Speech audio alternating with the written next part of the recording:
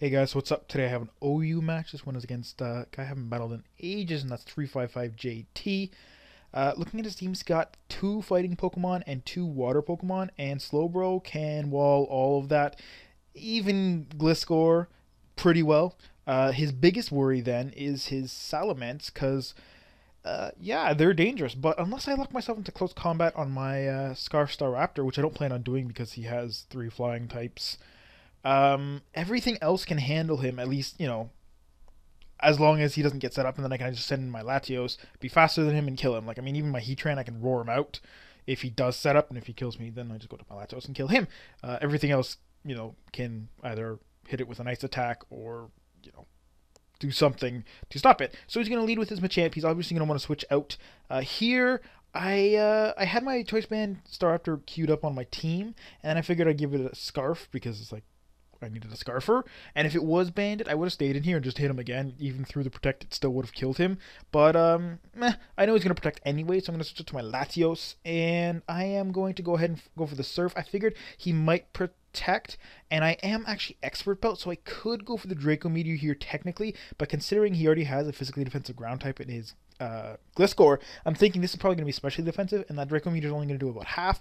Ruin my surprise of being Expert Belt. He'll just recover. I won't be able to kill him with the second Draco Meteor, and there'll be no point to that. So I figure let's save the surprise for later for when his Gastrodon's around half health, and I can just take it out with the Draco Meteor be like, oh, sorry, I didn't realize I was Expert Belt. Um, and I'm just going to switch to my Heatran. He's going to predict that and go for the Scald uh, instead of the Ice Beam. Obviously, I guess just wanted to get residual damage. Um, but I'm going to go for the Stealth Rocks on the Switch because I figure, yeah, Scald can do a bunch, but I don't know. I mean, he could have stayed in and hit me with another Scald or an Earth Power, but um, I guess he just really wanted to switch out. I don't know. Maybe predicting a switch too. Uh, so he's going to Dragon Tail me from my uh, Heatran as I go for the Roar, which is why he's faster, obviously. Um, which is great news because that means he's not offensive. And better news that he blew me right into Latios. So I'm going to go for the uh, Draco Meteor.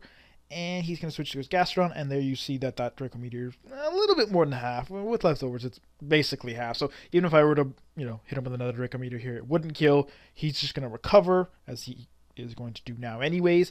And like I said, it just, there'd really be no point to it. So I'm going to go to Shaymin, confident that he will recover and I can threaten him out with that stab four times effective seed flare.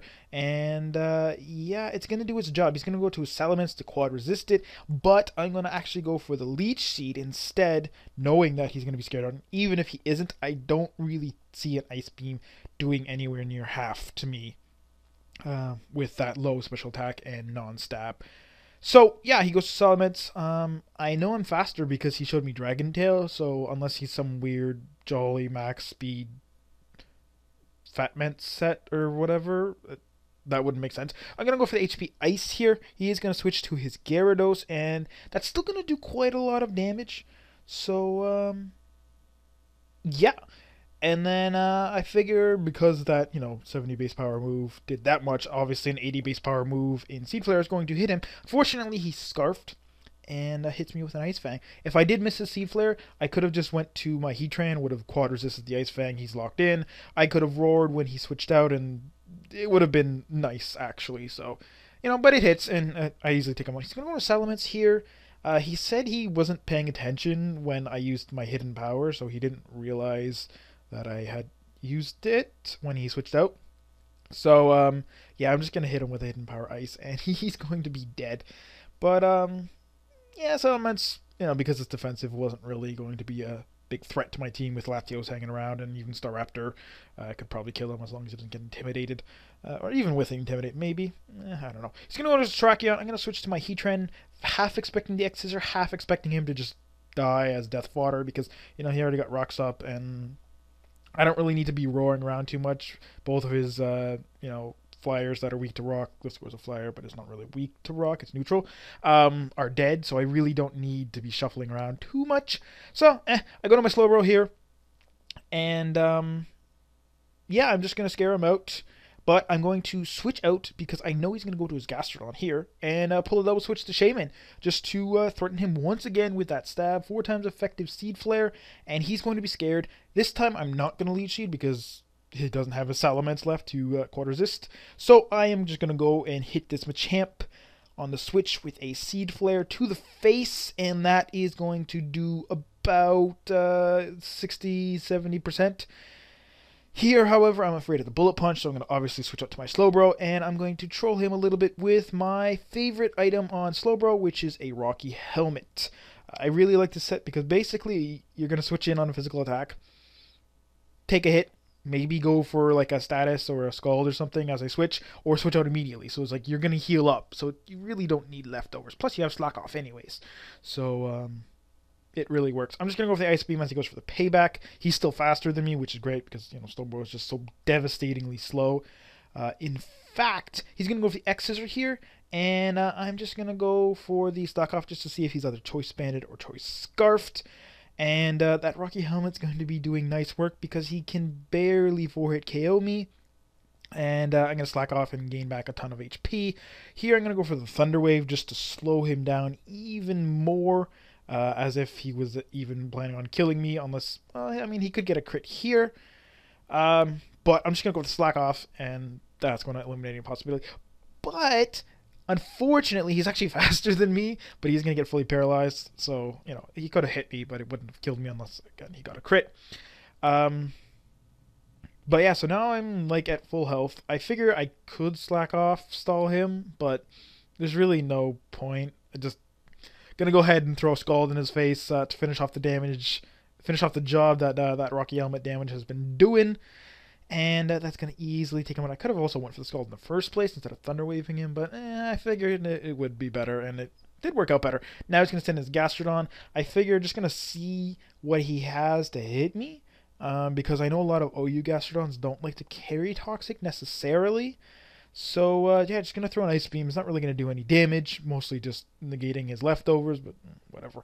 Uh, he shows me Earth Power. So here I'm thinking uh, I should switch up to my Staraptor, because Earth Power will do nothing. He could have went for the Ice Beam, but uh, here you're going to see that he doesn't actually have it, which is why he didn't go for it on my Latios before when I switched switched out to my Heatran in the first place. And uh, yeah, so I'm just going to throw a Brave Bird in his face. And guess what happens? He's gonna live at like two or three. I, I, don't remember what HP. I don't think. I don't, I'm not sure if he even told me, but you know, very little. And he's going to hit me with a scald, and I'm going to die, unfortunately.